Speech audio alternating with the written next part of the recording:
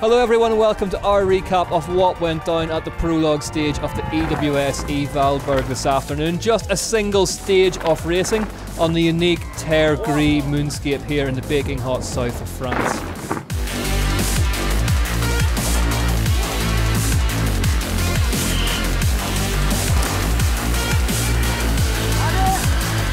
Pretty hard to gauge. It was super, super physical. I don't know, that sounds silly, but in practice you didn't feel like you were above the motor that much, but that one you're above the motor the whole time.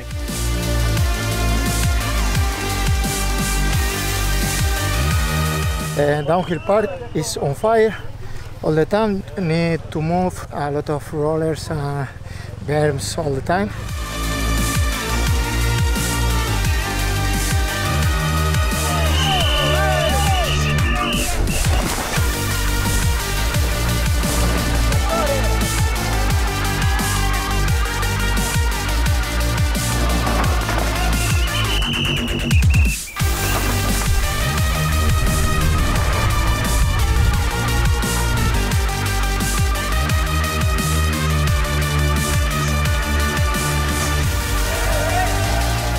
The top was good, but after I stopped two time on the climb, so I lose a lot of time. But yeah, it was a long day. Laura Charles was third. The series leader, Alia Marcellini, was second. Isabeau Courdurier won the pro women's race by a massive 15 seconds ahead of series leader Alia Marcellini.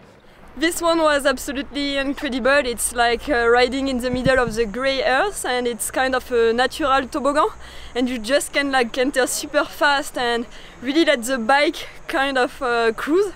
And so yeah, it's uh, honestly one of the most beautiful stage we've ever done.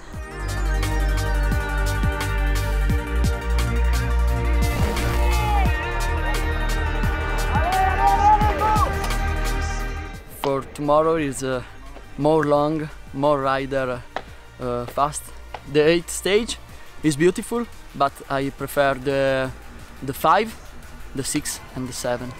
Is very incredible stage.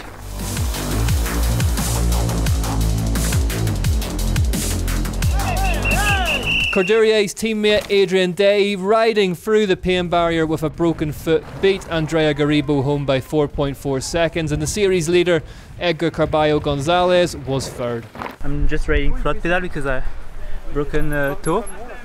I'm not used to it, but it's okay. And uh, I didn't expect to same uh, same time as the best. There we have it then. After just 2.2 kilometres, we have a monster 57 kilometres still to race at the first ever standalone EWS E tomorrow. Make sure you tune into EnduroWorldSeries.com and all our social media channels for updates throughout the day.